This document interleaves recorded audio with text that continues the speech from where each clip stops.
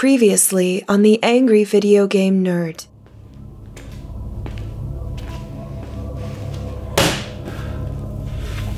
Ah, take it, you fucking game! Mm.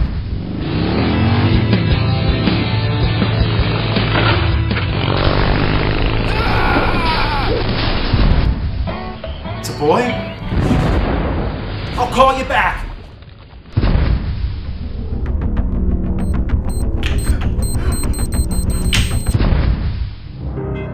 Gave you the money. Now give me back my son! You fuck. Resistance is futile. And now, the conclusion. Sonic 06 was the game everybody and their grandma wanted me to review, so I did. But there's more to it. I only half assed it, so why not go whole ass, which is the opposite of asshole? The torture continues, but the torture is all mine. So, first off, I figured out how to beat Silver and kick the shit out of him. Once you learn his pattern, he's pretty easy. Just wait for him to try to launch the furniture at you and homing fuck him in the face until he's dead. Finally, we get to the cutscene. Silver Shithog throws Sonic back as he makes a stupid face and hits a wall. Oh, and of course, the princess gets kidnapped again, only seconds after saving her. If she's just gonna get captured again, I might as well let Eggman keep her so I wouldn't have to deal with all this bullshit. Now Sonic has to go fight Eggman at his base, the White Acropolis. So now I run around aimlessly once again until I finally hit that magic area that lets me progress in the story. There's no clear designation of where to go. I swear the game just wants you to run around aimlessly until it decides you can progress. I hate this goddamn town. The droning music and robotic people freak the shit out of me. I mean, look at this. Why are there no guardrails? If Sonic falls, he dies. What happens if a normal person falls in there? That's unsafe, goddammit! And right here, if Sonic stands on the curb a certain way, he splits reality into two alternate dimensions existing in the same space and time. The visuals in this game give me a headache. Every time Sonic runs up or down a curb, the screen jitters. And it's not subtle either, the camera jerks down or up. So anyway, once you find the portal to the next level or act mission, you're treated to a totally rad snowboard level with some of the worst controls imaginable. Leave it to this game to make a snowboarding level suck. This should be one of the high points in the game, but of course, it's a warm, frothy mug of chocolate shit shake. Half the time I can't go anywhere, or I go in the completely wrong direction. Beat the act mission and Dr. Robot Eggman sends you into the future. You get another cutscene, and Shadow the Hedgehog tells you that on August 29th, 1997, Eggman creates Skynet and the world nukes itself, giving way for the machine war unless Tails gives birth to John Connor. Nah, that doesn't happen, but basically, it's a machine war and time travel. Why do you need that in a Sonic game? Whatever happened to just saving animals from becoming robots? Telekinesis, time travel, treasure hunting, bat tits, human princess and hedgehog romance. This game just feels like it was never meant to be a Sonic game. I'm sorry to repeat myself, but sweet mercy, these loading screens are fucking shit. And what's worse is after it loads, you're still playing Sonic 06. Between the levels taking forever and the sheer amount of loading screens you see, this game is just stealing your life away. You're stuck playing the game, but time is moving on. People are getting older, friends come and go. New music is starting to sound like shit to you. I see two squirrels fucking outside my basement window. Oh, now there's a new baby squirrel already. I could have spent all this time watching that documentary about left handed mattress makers, and you could have had a better hobby like running around the woods sniffing wolf's assholes. Could you imagine getting close enough to a wolf to sniff its asshole? Let's play the fucking game. Every level from here on out gets more and more frustrating. The platform jumping in the lava level is some of the worst. I like how when Sonic dies, he just casually lays down on the lava. Oh, the Sonic 06 has got me beat.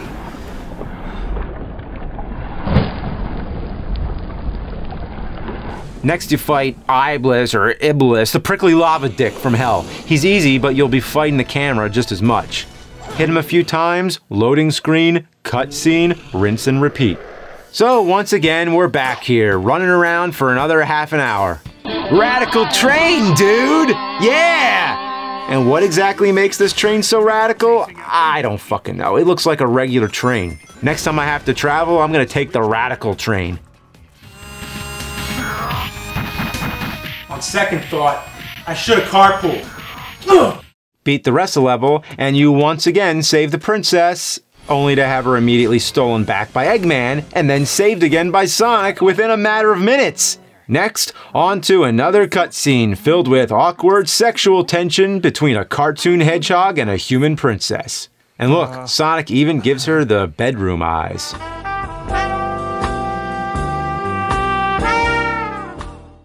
Ah, 20 loading screens and another creepy cutscene later, and guess what? The princess gets captured! Again! This time she just turns herself over to Eggman. A big fuck you to all your hard work.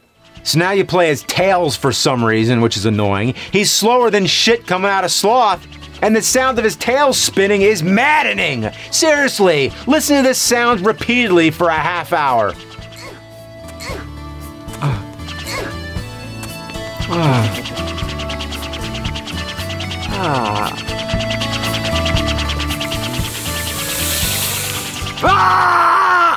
Now we're on to the real motherest of fucks. We're nearing the end of the game, but these last two levels are worse than anything up to this point. It starts with three trials to make it to the ancient castle. The first is the trial of knowledge. This will test your mind, more like it'll test my fucking patience. The whole point is to take the correct portals to get to the end. Nothing but trial and error. Just keep picking different portals until you get out. It sucks. The Trial of Courage is next, and it's a real heap of hog waste. This is definitely the worst of the three trials because you have to beat a bunch of enemies without any rings. Make one mistake, and you're dead. Last is the Trial of Love. Pick either Amy or the princess. It makes no difference either way. After the final trial, you get to ride an eagle up to the next level as it shits mid flight. Get ready for this. You better buckle up your shit belt because this game is about to get turned up to 11 on the dick turd scale. This level takes forever, and if you get a game over, you have to do all these trials again. This level took me over an hour to beat, for real. You get to play as Silver in this level, who for some reason doesn't want to kill you anymore. He's okay because he has telekinesis, but he still controls like anal leakage. But you should already expect that. The engines are malfunctioning. She dies? Elise! So Sonic fails to save her and then she dies. So so even when you do save her, she either gets captured again or turns herself in or fucking gets obliterated. So after you watch the princess get fucking destroyed, Sonic and Silver use their Chaos Emeralds to go back in time. Really? So they could just go back in time. Well, why not go back in time and kill Eggman when he was a baby? How about go back in time and stop this game from being made? Anyway, so you run around town, you ring three bells, you open the final level, which is the aquatic base. all right, here it is, the final act mission. By now, you've adjusted yourself to the crap factor, and it's not that the game is any easier, it's just that you know how to approach its shittiness after wasting hours of your life. That is until I reach by far the most son of a bitchiness obstacle in the entire game the giant steel ball. This thing flies all over the damn place with just a slight touch of the joystick. If the ball touches the laser, you fall to your death. I'm losing all my fucking lives here. Fuck. Fuck. All right, we're almost done. We're almost done. Just just focus. Just focus. We're almost done. We're almost done. Whew.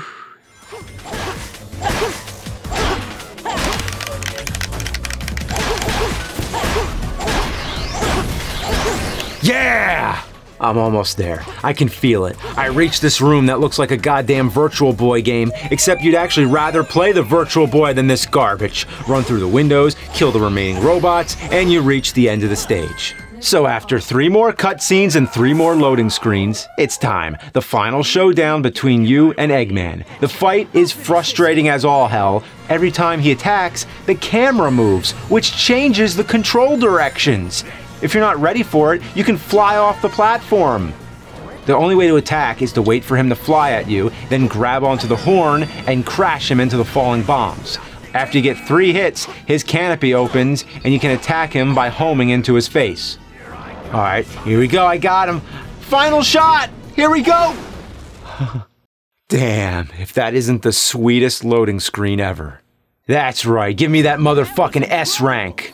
So on to the final cutscene. Sonic carries the princess out of the flaming wreckage of Eggman's ship, the two share another sappy moment, and then like a vision of true beauty, the ending credits. Thank God. Sonic 06 is over.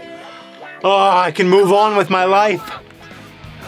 Except there's a bunch of extra side episodes that are essential to the plot. Ah. Seriously, the last thing I want to do after beating Sonic 06 is play more fucking Sonic 06. I'd rather rip every individual pube out of my scrotum with salad tongs than play this anymore. How did this happen? Beat these episodes and you get the final one, which is the most frustrating. First off, Sonic dies. Yep, Sonic dies. So everyone has to scramble to get the seven Dragon Balls, I mean Chaos Emeralds, to save his life. If you have the patience, you can collect them all and put this shit to rest. The princess uses the emeralds to wake up Sonic and, and, and, uh, what? Wow. Can't say I've ever seen that before. Well, Sonic 06, it's all done. Just to think, all the hours spent, all that time, all that torture, and now it's all over?